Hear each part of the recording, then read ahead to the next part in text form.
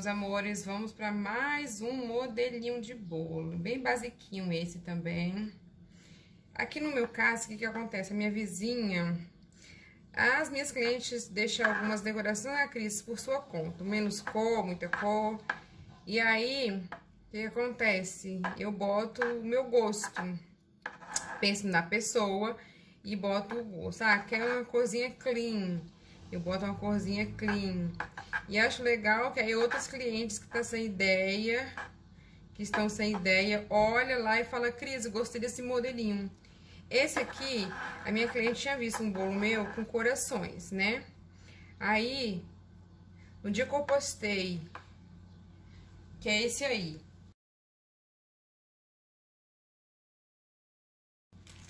Aí, no dia que eu postei outro modelinho brilhoso, simples, clean, ela foi e falou, Cris, eu quero esse, desse jeito aí, só que com corações vermelhos. Então é muito legal ver que elas gostam dos modelinhos que eu coloco, né? Muito bom. Tem uma que fala assim, Cris, sem decoração nenhuma, tá com chantilly em cima que eu vou comer assim mesmo, que seu bolo é maravilhoso. Só que a gente sempre coloca uma decoraçãozinha porque a gente gosta, né? Esse bolinho de hoje é aniversário de uma adolescente. A mãe dela resolveu fazer um bolo simples só para ela receber os amigos em casa. E é isso que eu estou fazendo. Aí agora acabou de ligar uma cliente falando comigo assim que quer encomendar um bolo pra filha dela. Só que aí a filha dela quer um bolinho bem clean. E a mãe deixou por minha conta. Tu já sabe, né, gente? Mais um bolinho que eu vou fazer bem fofinho. Bem maravilhoso.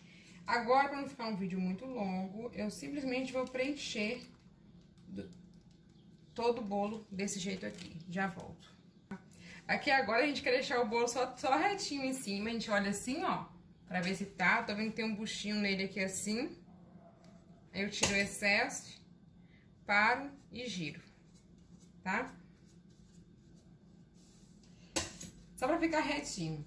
Agora, a gente vai desmanchando isso aqui sem botar pressão, tá?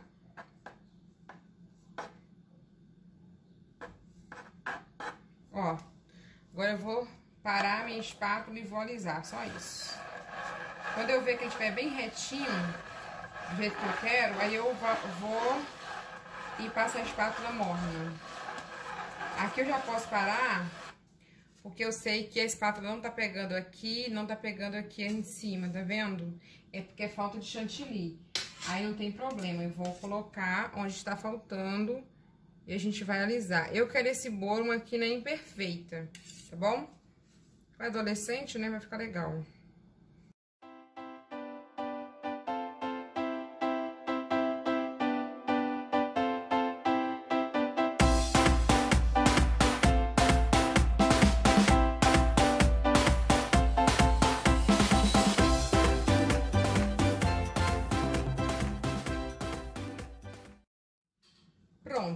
Agora a gente vai pegar uma espátula e vamos fazer o detalhe aqui em cima, tá?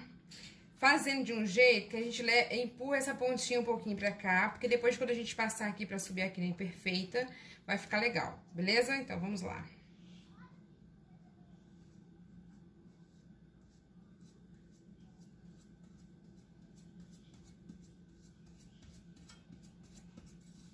Pronto. Agora sim, a gente vai, com a nossa espátula quente, passar aqui e subir no chantilly, tá bom?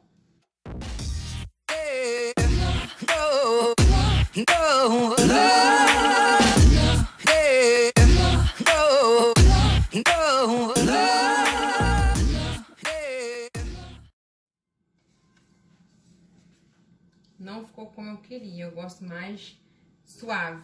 Então, vou alisar de novo e vou passar. Por que que não ficou legal? Porque eu queria eles espaço, ela espaçosa. E aí, como tá travando minha bailarina, vou botar um pouquinho de óleo nela, é, eu tive que ficar fazendo movimento com a bailarina andando leve, tem que ser mais rápida, tá?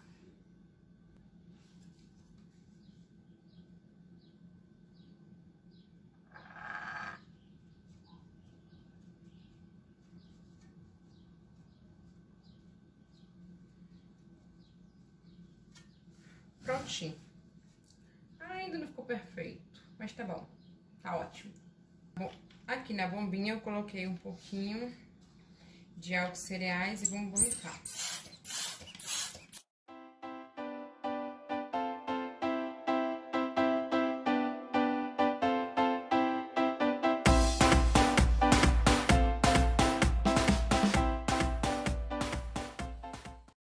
Então, galerinha, vamos lá.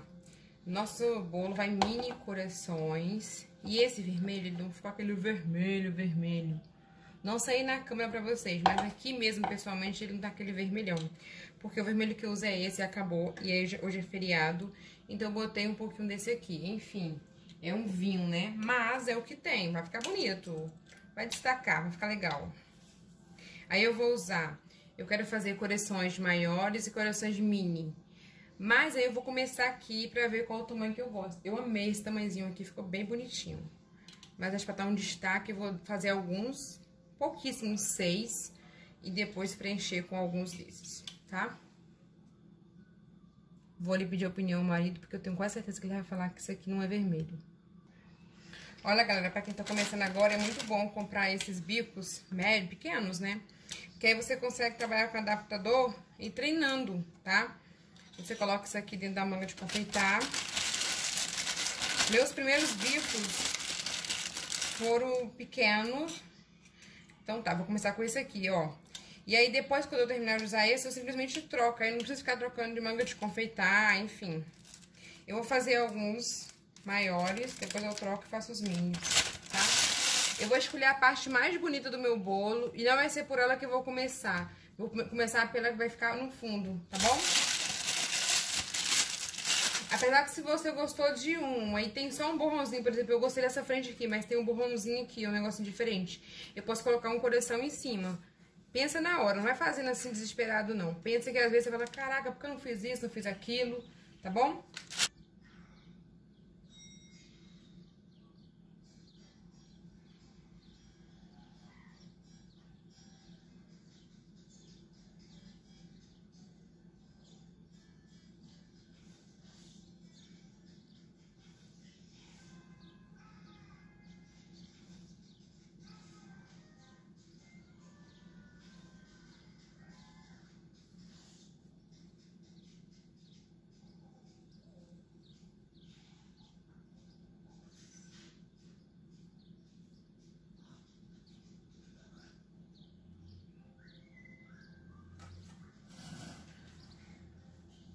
Pra mim essa quantidade tá boa.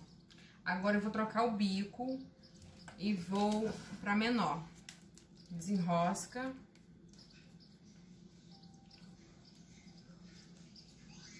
Largo e pego o pequeno.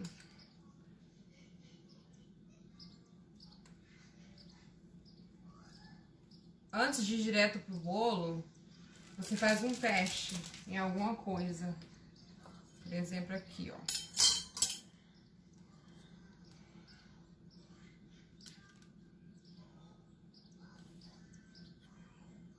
Entendeu?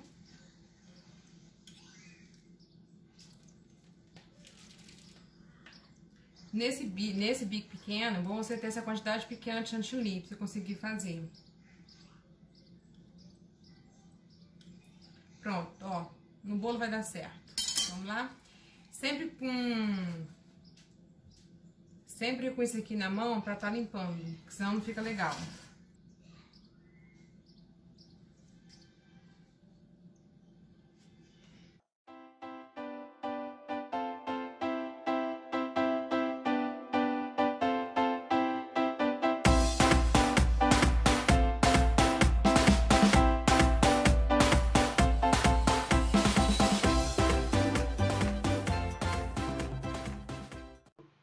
Então, meus amores, fico por aqui. Espero que vocês tenham gostado. Se gostou, deixa aquele like, se inscreva no canal e me segue lá no Instagram, ok? Beijo! Sucesso pra vocês aí, tá?